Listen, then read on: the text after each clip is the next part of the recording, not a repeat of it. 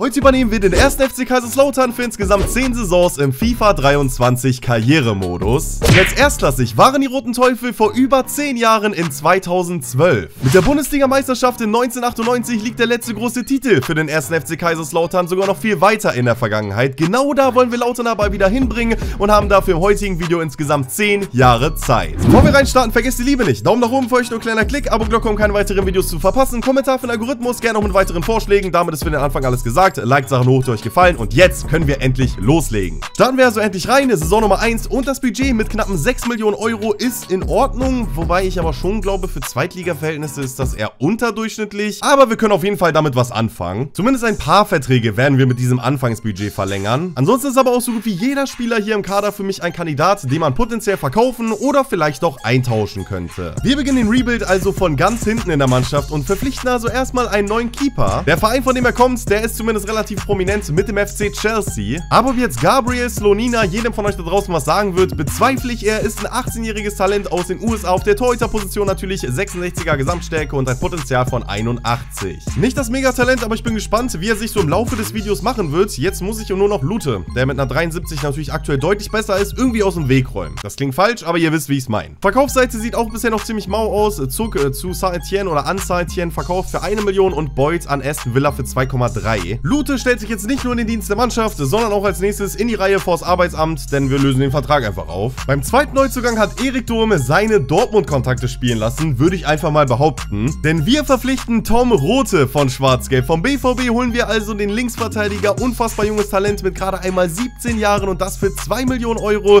Wie gesagt, Erik Durm hat seine Kontakte spielen lassen und Tom Rote, vielleicht doch gar nicht mal so unrealistisch, will lieber Stammspieler in der zweiten Liga dann sein. Wobei sie ihn natürlich in echt verleihen würden. Aber wir müssen natürlich auch bis bisschen vorankommen. Nach dem Beut-Verkauf wollte ich aber noch unbedingt einen neuen Stürmer holen und es wird, glaube ich, auch unser letzter Transfer in diesem ersten Sommer werden. Das Einzige, was mich eigentlich vom Transfer unseres Kollegen hier abgehalten hat, das war die Aussprache seines Nachnamen, denn die ist mal wieder völlig wild bei mir. Wir verpflichten Georgis Mikau Tatze.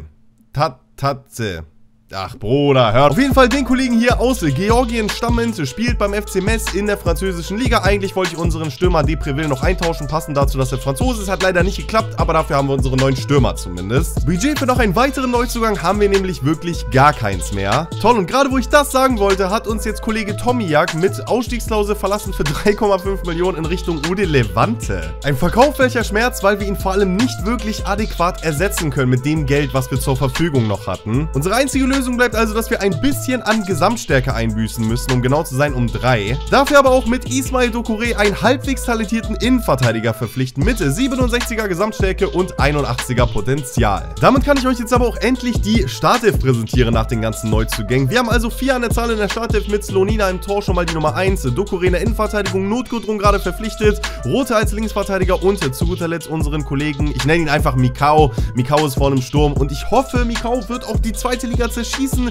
72er Gesamtstärke ist auf jeden Fall vielversprechend. Allgemein von den anderen Spielern erhoffe ich mir ordentliche Entwicklung und mal gucken, wie dieses erste Jahr hier von 10 insgesamt laufen wird. Angekommen dann am Ende des ersten Jahres von insgesamt 10, meine ich mich zumindest daran erinnern zu können, dass Kaiserslautern in der Realität als Aufsteiger hier in der zweiten Bundesliga deutlich besser performt hat, als wir es getan haben. Am Ende der Saison wird es nämlich die zweite Tabellenhälfte, der 13. Tabellenplatz und gerade mal 38 Punkte auf dem Konto und das sehe ich auch jetzt erst. Der Abstieg, der war nicht weit entfernt von uns. Relegation sogar nur 3 Punkte und der direkte Abstieg nur 5 mit Braunschweig und 33 Punkten. Ach ja, den Pokal gibt es ebenfalls. Da sind wir aber auch direkt in der ersten Runde im Elfmeterschießen gegen Regensburg geflogen. Und das ist die Mannschaft zum Ende der ersten Saison. Kann man auf alle Fälle mit zufrieden sein. So gut wie auf jeder Position jetzt also eine 70er Gesamtstärke oder mehr. Fehlen nur noch 2-3 Spieler und vor allem unser Stürmer. Richtig krass am Rasieren gewesen. Eine 77 mittlerweile. Kommt aber auch nicht von irgendwo, denn mit 23 Toren und 5 Vorlagen zeigt der Mann, dass er einfach mal viel zu gut für die zweite Liga ist. Zu erwähnen ist auf jeden Fall auch die Situation im Tor, denn unser Talent Slonina hat einfach nur 12 Einsätze weniger als Kral, der jetzt eine 66 hat, was die Gesamtstärke von Slonina zum Start war. Also ich verstehe hier gar nichts.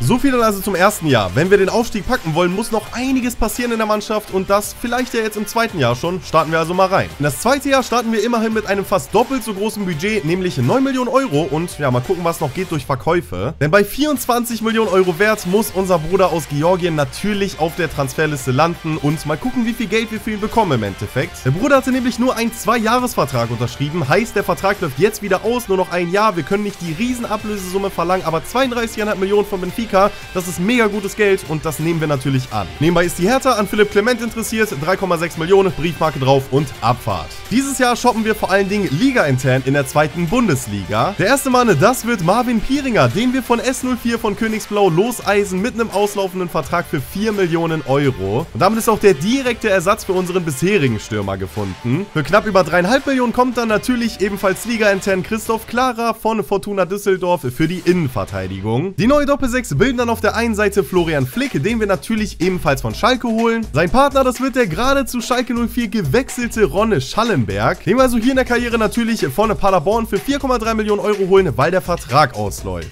Unsere Transferphase neigt sich so langsam aber sicher dem Ende. Der vorletzte Neuzugang, das wird Marvin Melin, den wir natürlich Liga-intern von Darmstadt holen für 6,2 Millionen Euro, 25 Jahre alt, 74er Gesamtstärke und ein mieses Upgrade im Vergleich zu Philipp Clement davor, vom Alter und jetzt auch schon vom Rating. Und zu guter Letzt will ich noch unser Problem auf der Torhüterposition lösen, indem wir Slonina eintauschen und dafür Noah Atobolo vom SC Freiburg loseisen. 21 Jahre jung, 70er Gesamtstärke bereits. Potenzial glaube ich, knapp über 80. In der Realität wird er ja, glaube ich, auch der Nachfolger von Flecken werden. Hier für dieses Video läuft es ein bisschen anders. Flecken ist noch bei Freiburg am Start und Atobolo sucht seinen Stammplatz in der zweiten Liga. Damit sind die Transfers abgeschlossen und im Vergleich zum ersten Jahr haben wir wirklich unfassbar viel Action auf dem Transfermarkt betrieben mit insgesamt sechs Transfers. Und am Ende haben wir sogar noch 10 Millionen Euro Budget übrig, mehr als wir zum Start eigentlich zur Verfügung hatten und das alles nur durch einen einzigen Verkauf. Und das hier ist die Mannschaft zum Ende dieser Transferphase. Jetzt wirklich auf jeder Position eine 70er Gesamtstärke oder mehr. Ich bin mir nicht sicher, was die Spieler, die wir einzeln hier neu reingebracht haben, an Potenzial haben. Ich glaube so 80 oder vielleicht sogar knapp unter 80.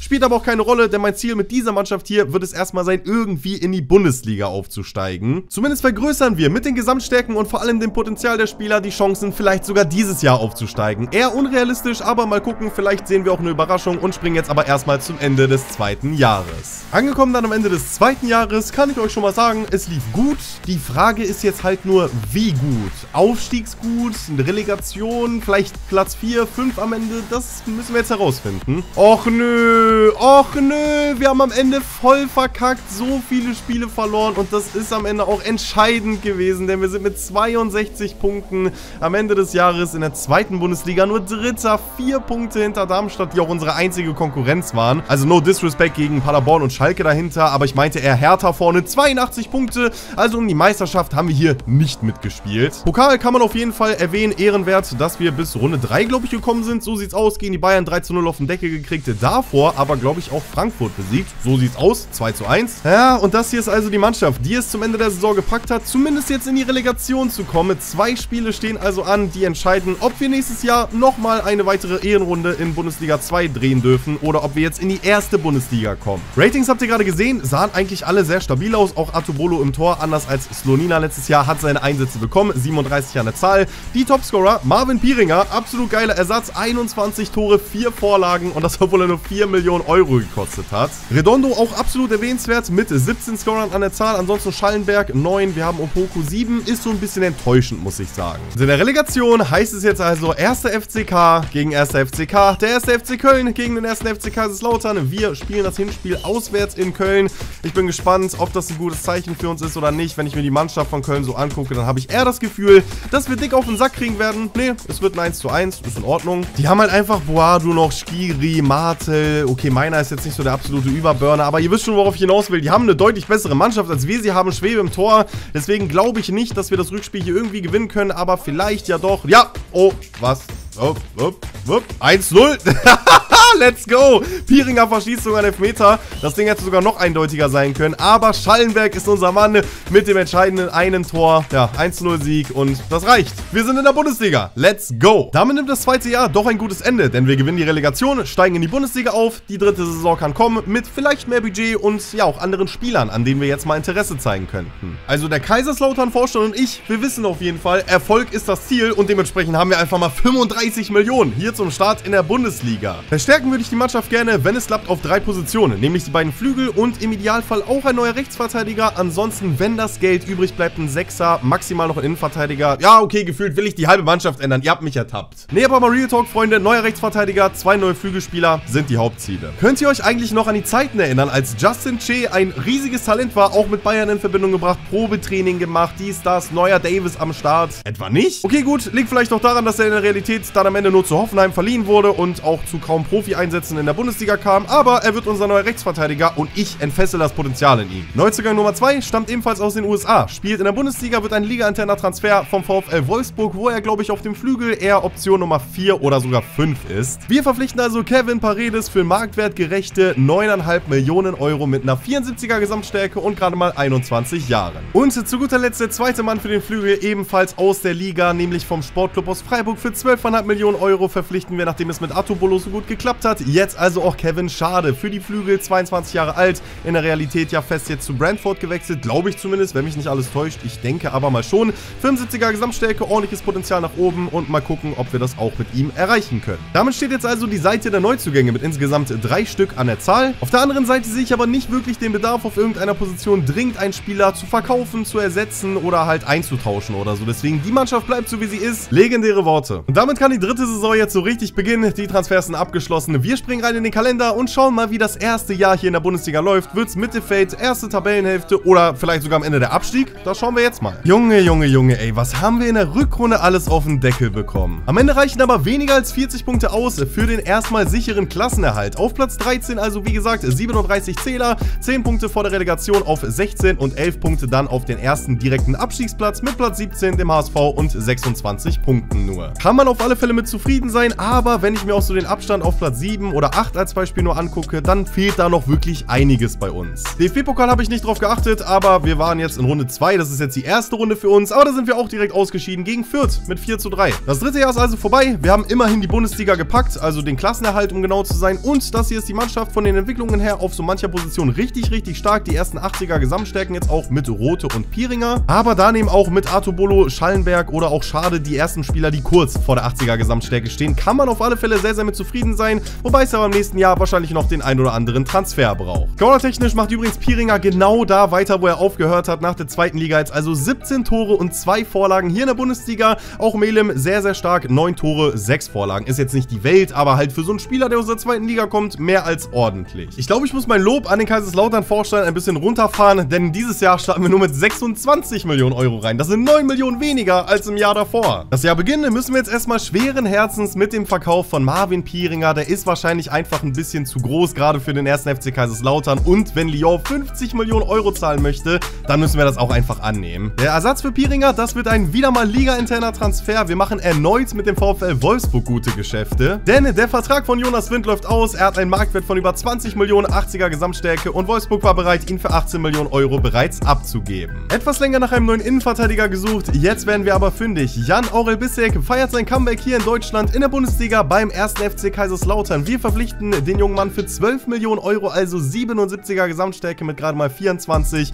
und mal gucken, wohin seine Karriere noch gehen wird. Und zu guter Letzt holen wir vom VfB Stuttgart Renato Tapia, ein mittlerweile 29-jähriger Sechser. Lässt sich mit 20 Millionen einiges kosten, hat aber auch eine Gesamtstärke von 81 und ist künftig für die südamerikanischen Blutgrätschen im Zentralmittelfeld zuständig.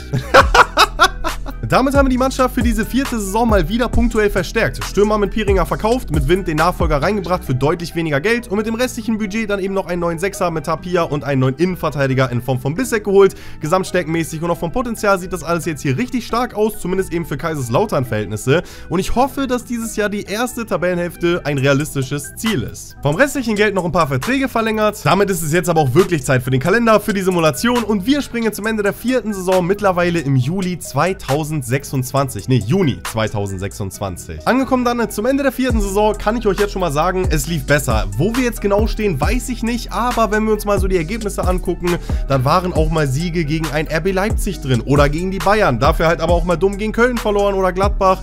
Hier mal fast sogar einen ganzen Monat kein Spiel verloren, also es sah insgesamt nicht verkehrt aus. Ach man, ey, aber am Ende fehlt trotzdem ein Punkt auf die direkte Qualifikation für die Europa-Conference League. Wir werden am Ende der Saison siebter und das heißt, wir müssen ein bisschen darauf hoffen, wer den Pokal gewonnen hat, weil wenn das einer ist, der sich eh schon qualifiziert hat international, dann kommen wir in die Conference League. Wenn nicht, haben wir halt Pech. Und wir haben, glaube ich, Glück, denn Leipzig hat den Pokal gewonnen und Leipzig ist international qualifiziert. Wir hätten aber auch Pech haben können. Der andere Gegner war Gladbach und die sind halt hinter uns, Zehnter, und hätten uns das vermiesen können. Damit heißt es also, Kaiserslautern spielt nächstes Jahr in der Conference League. Ach ja, unser Ergebnis im Pokal, das könnten wir uns auch nochmal kurz angucken, ist aber, glaube ich, standardmäßig. Erste Runde für uns, direkt geflogen gegen den VfB Oldenburg. Es wird immer kurioser und kurioser. Und das ist die Mannschaft zum Ende der vierten Saison. Es fehlt nicht mehr viel, dann hat jede Position die 80er Gesamtstärke oder mehr am Start. Es sind, um genau zu sein, in der Startelf alleine nur noch zwei, drei, ja, vier Spieler, die die 80er Gesamtstärke noch nicht haben. Auf der anderen Seite fallen die Außenverteidiger Rote und auch Che dieses Jahr mit riesig starken Entwicklungen.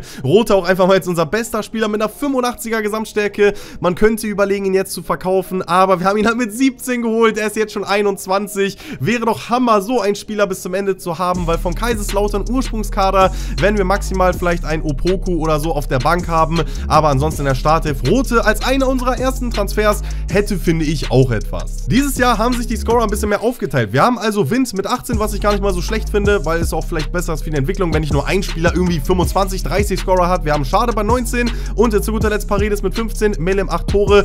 Wäre ein Kandidat, den ich nächstes Jahr vielleicht ersetzen wollen würde. Ob ich ihn jetzt verkaufen muss dafür oder einfach nur einen neuen Zehner reinbringe, das ist jetzt die andere Frage. Das gilt es im nächsten Jahr herauszufinden. Packen wir also gar nicht lange rum, starten rein in Saison Nummer 5. Das erste Mal jetzt also auch internationales Geschäft mit der Conference League. Wir müssen die Mannschaft dafür aber noch ein bisschen upgraden. Vom Budget erreichen wir leider keine neue Atmosphären, aber wir sind wieder zurück bei 35 Millionen, wie zum Start der dritten Saison, wo wir auch quasi in die Bundesliga reingestartet sind.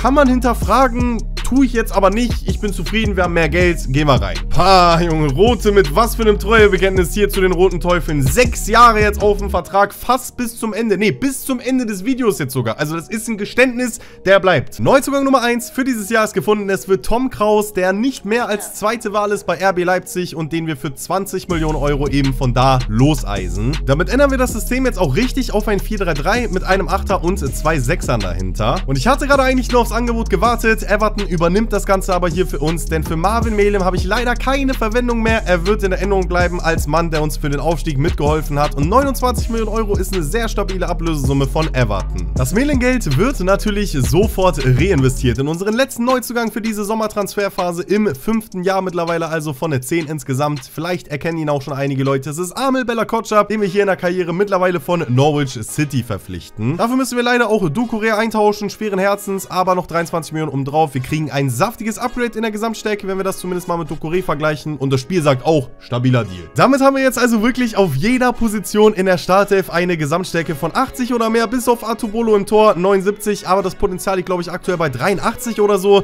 Das heißt, er wird sich auf alle Fälle noch ganz locker über diese 80er Gesamtstärke entwickeln und mit Rote oder auch Che, schade, schon mal die ersten Spieler am Start, die jetzt auch deutlich über der 80er Gesamtstärke anzusiedeln sind. Genau solche Ratings braucht es aber auch, um in der Liga nochmal besser zu sein, denn das ist das Ziel, vielleicht aus eigener Kraft wirklich Platz 5 oder 6 zu erreichen, uns dann für die Europa League in dem Fall zu qualifizieren. Conference League wäre auch schon schön, wenn wir zumindest mal die K.O.-Phase erreichen.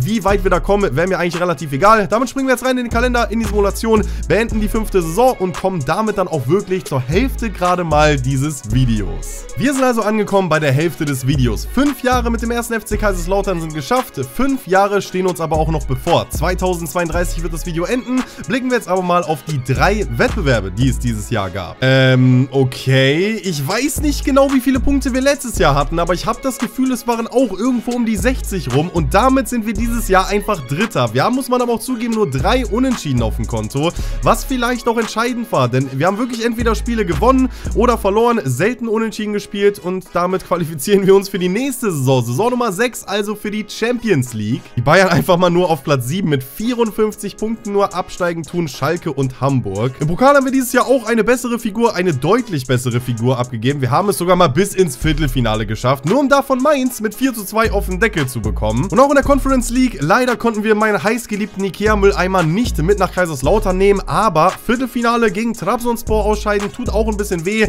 aber die haben bestimmt auch keine so schlechte Mannschaft und dementsprechend ist das in Ordnung. Wie gesagt, mir war es eh egal, wo wir hier eigentlich landen. Viertelfinale ist mehr als in Ordnung. Und das hier ist die Truppe zur Hälfte des Videos. Kann sich auf alle Fälle sehen lassen. Auf jeder Position jetzt wie gesagt die 80 oder mehr am Start. Wir haben Schade mit einer 85, Rote 86. Artobolo hat jetzt auch den 80er Club endlich erreicht und sogar viele überholt jetzt mit einer 83. Ansonsten Win vorne mit einer 84. Rest der Gesamtstärken seht ihr ja selber. Eine ordentliche Truppe, die es aber jetzt in der zweiten Hälfte des Videos noch so zu verbessern gilt, dass wir auch um Titel spielen können. Bundesliga, Champions League, Pokal und so weiter. Scorer-technisch hat sich das alles dieses Jahr noch ein bisschen mehr aufgeteilt. Die Zahlen sind aber besser als im Jahr davor. Wir haben Wind bei 27 Scorern, Schade mit 26 an der Zahl, Parides bei 20 und auch Kraus als zentraler Mittelfeldspieler. Klar, er ist sozusagen unser Zehner, aber 21 Scorer sind schon sehr stabil. Und der Kaiserslautern-Vorstand gönnt Leute 78 Millionen an der Zahl, mehr als das Doppelte im Vergleich zum Jahr davor, ist aber auch bitter nötig, um diese Mannschaft hier noch für die Champions League besser zu machen. Neuzugang Nummer 1 für die sechste Saison, das wird Josip Stanisic, der hier in der Karriere mittlerweile bei Atletico spielt. Mittlerweile auch 27 Jahre alt, kostet 26 Millionen Euro, hat als Rechtsverteidiger schon eine Gesamtstärke von 81. Ich sehe den Mann aber deutlich eher in der Innenverteidigung und hoffe mit einem Positionswechsel vielleicht auf ein Upgrade von 2 in der Gesamtstärke. Irgendwann zieht es Kevin Schade aber doch in die Premier League. Es geht zu Brighton und das für 111,8 Millionen Euro. Der neue Rekordverkauf. Bevor wir uns aber um den Nachfolger kümmern, kümmern wir uns erstmal um die Positionsänderung bei Josip Stanisic zum Innenverteidiger.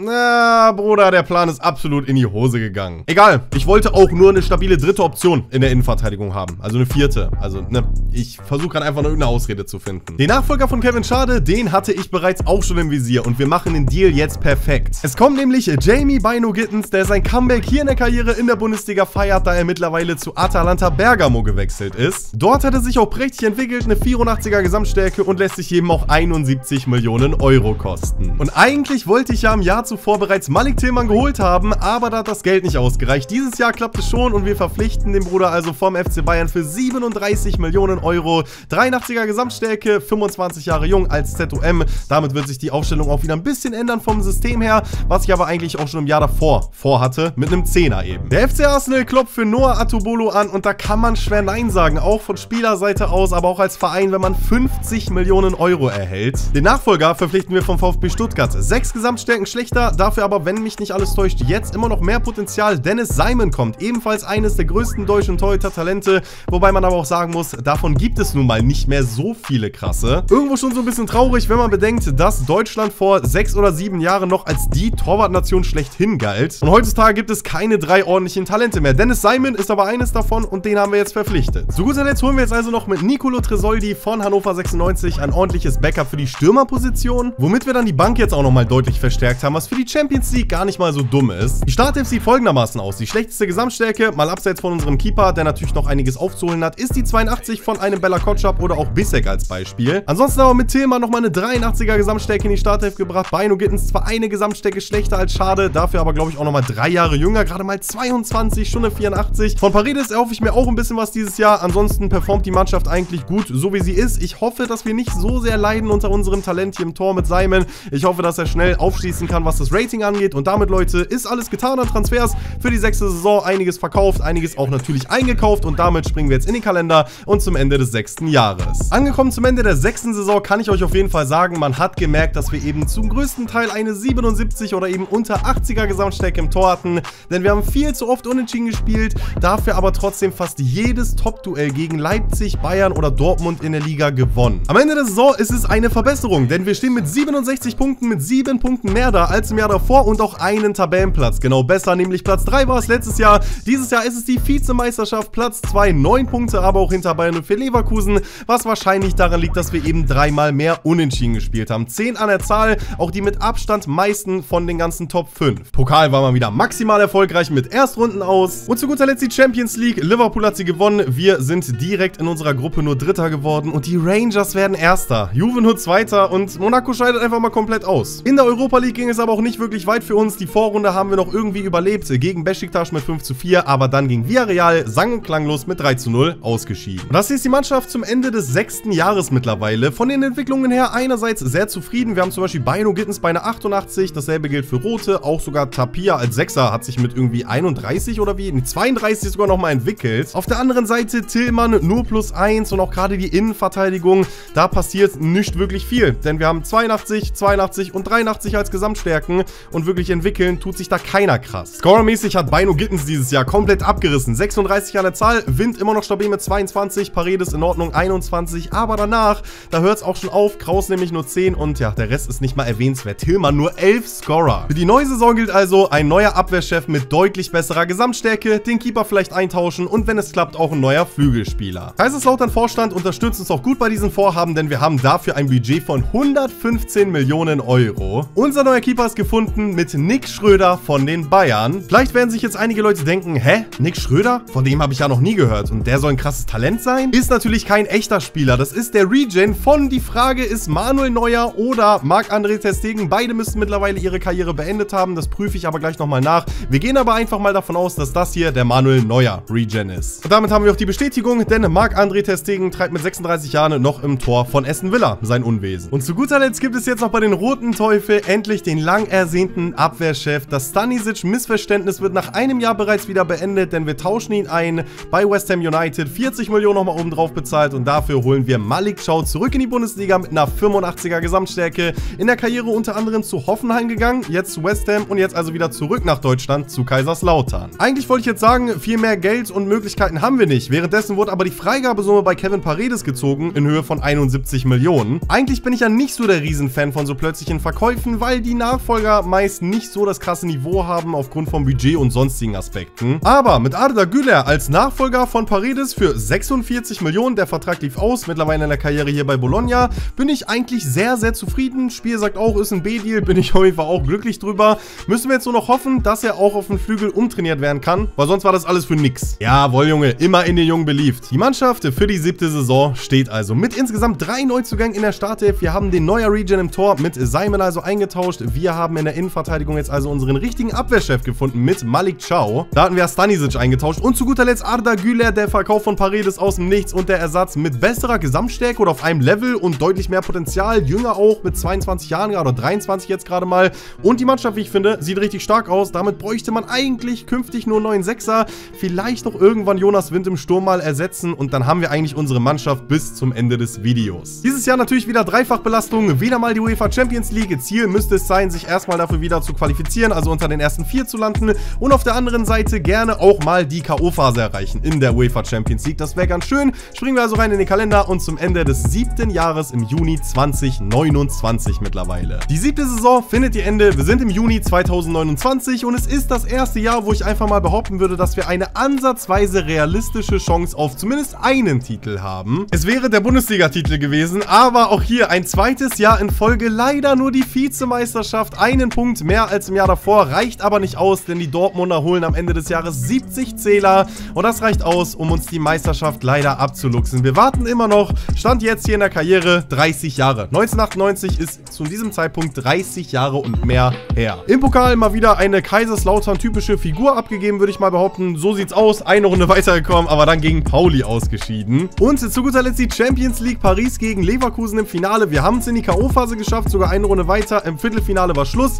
nämlich gegen Manchester City mit 6 zu 2 auch ordentlich auf den Deckel gekriegt. Im Achtelfinale gegen Bukarest ist es, glaube ich, mit 4 zu 3 noch irgendwie durchgesetzt. Ach ja, und die Gruppe war noch das Problemloseste. Da sind wir mit, ja, 16 Punkten Gruppenerster geworden. Und das hier ist die Mannschaft zum Ende der Saison. Sieht sehr, sehr spicy aus. Güler vorne auf eine 86 gestiegen. Wind, glaube ich, auch plus 2 jetzt auf eine 88. Sehr, sehr verrückt dafür, dass er halt, wie gesagt, jetzt 30 Jahre alt ist. Beino Gittens bei 91, unser bester Spieler. Auch der neue Region im Tor jetzt schon bei einer 89er Gesamtstärke. Unsere Außenverteidiger immer noch so die Schmuckstücke mit 85 und 89. Schallenberger auf der 6, den Kollegen Tapir ersetzt. Da geht es im nächsten Jahr vielleicht noch was zu machen im Mittelfeld und mit vielleicht meine ich natürlich safe. Und auch die Innenverteidigung. Jetzt haben wir mit Schaune 86, aber daneben 83 Bella Kotschap, 83 bisher. Keiner von beiden kann sich so richtig durchsetzen. Und da gilt es auch hier im nächsten Jahr einen zu verkaufen oder einzutauschen und da nochmal einen besseren Innenverteidiger reinzubringen. Und wenn ich mir die Scorer von Wind so angucke, dann kommt das glaube ich auch nicht von irgendwo, dass der Mann mittlerweile eine 88er Gesamtstärke hat bei 38 Scorern dieses Jahr wieder. Der Rest aber so ein bisschen lässt zu wünschen übrig. Beino Gittens gerade mal mit 20, Güler 11 und ja, Tillmann 10. Rest ist halt wirklich ziemlich trash. Drei Jahre stehen uns also noch bevor. Das hier ist die achte Saison. Das Budget dafür sind 128 Millionen. Das Ziel ist es im Idealfall noch irgendwie einen einzigen Titel zu gewinnen. Ist eigentlich nicht völlig undenkbar, aber dafür müssen wir es jetzt halt auch endlich mal packen. Unser neuer Sechser ist gefunden und tatsächlich konnten wir da auch unseren peruanischen Rentner eintauschen gegen. Natürlich kein 1 zu 1 Tausch, aber 40 Millionen unter Pia im Tausch für den mittlerweile 27-jährigen Amado Onana hier in der Karriere zu Hertha gewechselt. Mit einer 85er Gesamtstärke ist, wie ich finde, ein richtig guter Deal. Und daneben wird es, um es mal in Jogi Löw Sprache zu sagen, höchste Zeit, endlich mal ins oberste Regal des Fußballs zu greifen und da also William Saliba zu verpflichten in der Karriere von RB Leipzig, also 89er Gesamtstärke. Wir tauschen Bella Kotschap ein, zahlen 52,9 Millionen obendrauf, haben dafür jetzt aber fast eine 90er Gesamtstärke einfach mal in der Innenverteidigung. Zu guter Letzt holen wir mit Calvin Ramsey noch ein solides Backup für die Rechtsverteidigerposition für 18 Millionen Euro aus der Liga von Union. Und damit steht die Mannschaft, würde ich jetzt einfach mal sagen. 85er Gesamtstärke im Mittelfeld bei Kraus, Onana, Tillmann. Das sind auch die schlechtesten Gesamtstärken hier in der Startelf. Und jetzt beginnt so langsam aber sicher der Moment, wo ich was von dieser Mannschaft auch erwarte. 89 von Saliba in der Innenverteidigung neu dazu bekommen. 85 bei Onana. Sehr, sehr stabile Backups hier auch auf der Bank mit 84, 83 und eben noch unserem neuen Backup hier. Und eben wie gerade schon erwähnt, eine Startelf mit unfassbar stabilen Gesamtstärken. Dazu ist aber auch noch jeder Spieler so gut wie in der Lage dazu, sich nach vorne zu entwickeln, nach oben mehr Gesamtstärke noch zu bekommen. Bis auf vielleicht Jonas Wind in der Startelf. Aber bei dem hat man ja auch gesehen, er hat eine 88 nicht ohne Grund, weil er eben unfassbar stark performt. Damit springen wir mal wieder rein in den Kalender. Wir hätten jetzt noch 8 Millionen Euro übrig, ist aber nicht wirklich passend, um noch irgendwas zu machen. Passend dazu aber 8. Saison, wir springen in den Kalender und auf zum Ende der Saison. Mittlerweile also Juni 2030. Wir sind also angekommen, Juni 2030, das Ende der mittlerweile 8. Saison und ganz ehrlich Leute, wenn wir jetzt nicht mindestens einen Titel gewonnen haben, dann fresse ich einen Besen. Morgen Face Reveal plus Besenfress-Video mit Salz. Ich nehme alles zurück, was ich gesagt habe. Alles zurück. Ihr habt nichts gehört, Digga. Nix. Nix gibt's morgen, Junge. Wir sind nicht Meister geworden. 74 Punkte. Damit wirst du halt wieder nicht Meister. Drei Jahre in Folge. Vizemeisterschaft. Ey, ey, nee, Digga, ich war mir so sicher. Deswegen hätte ich doch gerade nicht sonst noch was gesagt. Wie, äh, Digga, nee. Hör mal auf, was ist denn mit Leverkusen auf einmal nicht richtig? 83 Punkte. Ey, nee, hör mal auf. Nee. Nee, weiß ich jetzt nicht. Habe ich, nee, habe ich irgendwie nicht so vorgesehen. Das war nicht im Skript drin. Das stand da ganz anders. Ey, hör doch auf. Einfach Union und Bremen steigen direkt ab und Wolfsburg geht in die Relegation. Hör mal auf, ey, hör mal auf. Ja, Pokal haben wir natürlich auch nicht gewonnen. Also ich habe jetzt alle Karten in die Liga gelegt, denn wir sind im Pokal mal wieder nicht weit gekommen. Mal wieder in der ersten Runde geflogen. Ja, so sieht's aus. Ja, gegen Augsburg, Digga, ich habe auch langsam keinen Bock mehr auf diesen scheiß Pokal. Können wir da auch einfach nicht teilnehmen dran? Schicken wir einfach künftig immer die zweite Mannschaft vor. Ganz ehrlich, die werden bestimmt besser performen als die erste. Champions League ging auch nicht wirklich weit. Hinspiel noch 2 zu 2 gegen Inter Mailand. Rückspiel dann 3 zu 0 mal wieder auf Deckel bekommen. Das, obwohl das hier die Mannschaft ist. Ich will nicht wissen, was Leverkusen für eine Truppe hat, dass die uns jedes Jahr aufs Neue besiegen. Das ist wirklich unfassbar. Wir haben 90er Gesamtstärken mittlerweile am Start, wo man nur hinsehen kann. Im Tor, in der Innenverteidigung, Linksverteidigung, Vorne, Angriff, Stürmer, Flügel, nur Mittelfeld nicht, aber dann sind halt 86er Gesamtstärken und 85. Ey, Leute, hör mal auf, ey, hör mal auf. Zwei Jahre jetzt noch, um wenigstens einen verfluchten Titel zu gewinnen. Ja, Scorer sehen aber echt wild aus. Wir haben Wind mit 38, wir haben Beino Gittens bei 30, wir haben Güller bei 28. Das ist mehr als in Ordnung. Da muss aber noch mehr gehen. Ich brauche mal so eine richtige 50-Scorer-Saison offensichtlich, dass wir es vielleicht mal schaffen, wenigstens einen Titel zu gewinnen. Ja, und Thema, Digga, du wirst auch nächstes Jahr ersetzt, Junge. So ein Flop-Transfer, Digga. Nie verbessert, nie nix, keine Scorer, gar nichts, Mann. So, Männer, dieses Jahr kein Vorbereitungsturnier. Wir schwitzen uns zu Tode in Lautern. Ist mir egal. 145 Millionen sind das Budget. Damit kann ich auf alle Fälle Malik Tillmann ersetzen, beziehungsweise verkaufen, eintauschen. Ich weiß noch nicht genau, was ich mit ihm mache. Ada Güler bei uns auch einfach alleine hier im Sommertrainingslager. Der wird aber die beste Saison seines Lebens haben. Das sage ich euch jetzt schon. Dieses Jahr gibt es nur einen Transfer und der ist mit allen Wässern, Wassern, wie auch immer, gewaschen. Es ist Florian Wirz, den wir also vom BVB verpflichten. Mit Malik Tillmann im Tausch. Irgendwie 100 100 etwas Millionen noch oben drauf. Dafür kriegen wir eine 91er Gesamtstärke. Er ist mittlerweile 27 Jahre alt, hat einen Wert von 140 Millionen und es wird, wie gesagt, der einzige Deal dieses Jahr. Weil mehr brauchen wir nicht. Und wenn wir es mit dem jetzt nicht schaffen, dieses Jahr Meister zu werden, dann schaffen wir es so oder so nicht. Wir haben hier ansonsten Spieler, die es auf jeden Fall noch packen werden auf die 90, Alache oder auch Güler. Schau in der Innenverteidigung können jetzt auch mal ein bisschen loslegen, was die Gesamtstärke angeht. Onana dasselbe, aber ansonsten sind wir überall richtig gut versorgt.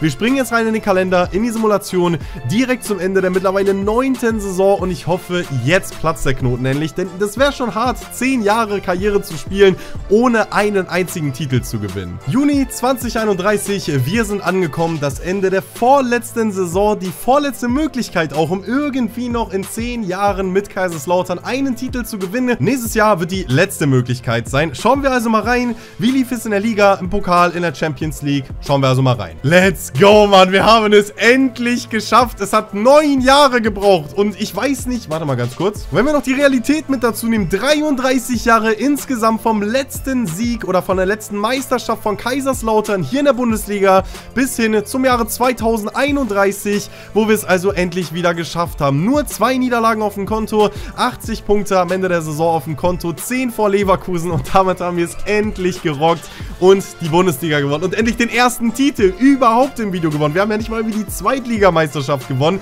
Jetzt ist es also endlich mal geschafft. Und nicht nur das, Leute, denn wir haben auch den DFB-Pokal dieses Jahr endlich gewonnen im Finale gegen den HSV, die ja bekanntermaßen öfter gut sind in dem DFB-Pokal. Davor Halbfinale gegen Dortmund, Hoffenheim im Viertelfinale, Runde 3 gegen Halle und Runde 2 dieses Mal überstanden gegen Freiburg. Wir sind aber noch nicht fertig, Leute, denn es kommt noch die UEFA Champions League und auch diese haben wir im Finale gewonnen gegen Manchester City mit 4 zu 3 im Elfmeterschießen, 2 zu 2 nach der regulären Spielzeit plus Verlängerung und am Ende entscheiden es also die Elfmeter. Davor Halbfinale gegen die Spurs mit 5 zu 3, Viertelfinale 6 zu 2 gegen den BVB und davor Achtelfinale 2 zu 1 Sieg gegen den FC Barcelona. Gruppenphase sogar nur als Zweiter beendet, da auch gegen die Spurs mit, ja, punktgleich 11 Punkten eben, ja, nicht durchgesetzt. Aber egal, Leute, dafür das Triple gewonnen, das ist es mir auf alle Fälle wert. Wir haben also jetzt insgesamt in der Startelf 1, 2, 3, 4, 5, 6, 7, 8 90er Gesamtstärken oder mittlerweile sogar deutlich mehr. Kraus, Onana und Chao, das sind die letzten Spieler, die verblieben sind, die keine 90 haben. Oder vielleicht sogar deutlich mehr. Scorer-technisch, Jonas Vince, die Entdeckung des Videos. Ich werde den Bruder auch nicht verkaufen. Nächstes Jahr wird das letzte sein. Er wird vielleicht sogar in der Gesamtstärke sinken. Aber er ist für mich die Entdeckung des Videos, denn er beendet dieses Jahr mit 47 Scorern. Wir haben Bino Gittens bei 39. Wir haben auch Ada Gülam in einer richtig starken Saison bei 34. Wirtz mit 18 Scorern. Der Zehner, der sammelt einfach leider nicht so viele Torbeteiligungen. Aber ansonsten ja, gute Verpflichtung. Gute Gesamtstärke für die Simulation und alles. Ähm, ja, guter Transfer gewesen. Wir starten jetzt also rein in die 10. Saison und werden nichts mehr machen. Ich bin vollkommen zufrieden mit dieser Mannschaft hier als unsere Endtruppe für dieses Video. 10 Saisons, in denen wir den ersten FC Kaiserslautern übernommen haben. Wir haben so dermaßen viele Spieler eingekauft. Wir haben so dermaßen viele Spieler verkauft. Es ist, glaube ich, meiner Zeit auch ein Jahr nichts zu tun. Ruhe zu haben, keine Spieler irgendwie neu zu verpflichten oder zu verkaufen, neue Baustellen sich zu machen. Auch wenn wir 221 25 Millionen Euro Budget haben. Ich bin komplett zufrieden mit der Truppe. Die Bank ist ja auch nicht verkehrt und damit springen wir ein letztes Mal rein in den Kalender, in die Simulation und schließen also dieses letzte, diese zehnte Saison mit Kaiserslautern ab im Juni 2023, nee, nicht 23, sondern 32 dann. Juni 2032, wir sind angekommen, Leute. Zehn Jahre, zehn Saisons insgesamt den ersten FC Kaiserslautern übernommen. Das letzte Jahr, die neunte Saison, war mit Abstand das erfolgreichste Jahr mit dem Triple, wo wir ja wirklich noch keinen Titel bisher gewonnen hatten und dann drei auf einmal. Gucken wir einfach mal, ob wir in diesem letzten Jahr da noch was hinzufügen konnten. Wer das Video bis zu der Stelle geguckt hat, der schreibt einfach mal gerne den Hashtag Lautern unten in die Kommentare, dass ich auch weiß, wer die Videos bis zum Ende guckt oder wer wirklich einfach nur bis zum Ende skippt. Die OGs werden auf jeden Fall kommentieren. Ich weiß Bescheid. Ich küsse alle eure Herzen und wir holen auf jeden Fall eine weitere Meisterschaft hier zum Ende nochmal. Der vierte Titel also 87 Punkte, glaube ich, nochmal ein bisschen besser von der Punktzahl her im Vergleich zum Jahr davor. 10 Punkte Vorsprung am Ende vor Schwarz-Gelb vom BVB. Im Pokal sind wir dieses Jahr auch recht recht weit gekommen, leider aber im Halbfinale gegen den VfB Stuttgart geflogen. Es hätte eigentlich auch das nationale Double sein können. Und in der Champions League sind wir gegen einen der Finalisten ausgeschieden, um genau zu sein gegen den Sieger, nämlich gegen Bayern 04 Leverkusen hatten wir das Hinspiel eigentlich mit 1 0 gewonnen, Rückspiel leider 2 0 verloren, aber die haben es halt auch einfach mal geschafft. Danach noch Paris und im Finale eben auch Manchester City zu schlagen. Deswegen verdient auf jeden Fall, dass sie das Ding hier am Ende holen und eben verdient auch gegen den Sieger letztendlich ausgeschieden. Das hier ist also die Mannschaft, welche wir also nach 10 Jahren insgesamt mit dem ersten FC Kaiserslautern kreiert haben. Es fehlen tatsächlich nur noch Onana und Kraus und gut, man hätte auch Win schon ersetzen können. Dann hätten wir wirklich auf jeder Position, Ciao auch komplett vergessen gerade, bin ehrlich. Aber ansonsten hätten wir so wirklich auf jeder Position jetzt eine 90er Gesamtstärke oder besser. Sogar viele Spieler mittlerweile deutlich über der 90. Bino Gittens unser bester Spieler mit einer 94, aber alleine dreimal auch noch die 93 mit Schröder, Wirtz und Ada Güler. Scorer-technisch hat vor allen Dingen nochmal Jonas Wind in diesem letzten Jahr mies abgerissen bei 42 Scorern und wir haben Bino Gittens bei insgesamt 32, Güler wieder ein bisschen schwächer mit 24. Das soll also an der Stelle gewesen sein vom heutigen Video, in dem ich den ersten FC Kaiserslautern für insgesamt 10 Jahre oder 10 Saisons übernehme. Das zweite Video also dieser Art. Das erste habt ihr unfassbar krass gefeiert, deswegen würde es mich auch freuen, wenn ihr auch auf dieses Video hier euren Supporter lassen könnt. Die Videos sind zum Aufnehmen ein unfassbar krasser Aufwand, allgemein auch schneiden und so weiter. Deswegen Leute, für euch der Daumen nach oben ist nur ein kleiner Klick im Vergleich, deswegen Leute, lasst viel Liebe da, Daumen nach oben, Abo, Glocke, um keine weiteren Videos zu verpassen. Kommentar für den Algorithmus, gerne auch mit weiteren Vorschlägen, Like Sachen hoch, vielleicht für die nächste oder für das nächste Video, für die nächste Ausgabe mit 10 Saisons, wo ich einen Verein eben über 10 Jahre übernehme. Und damit, Leute, soll es an der Stelle gewesen sein. Wir sehen uns in alter Frische wieder. Bis dahin, haut rein und ciao.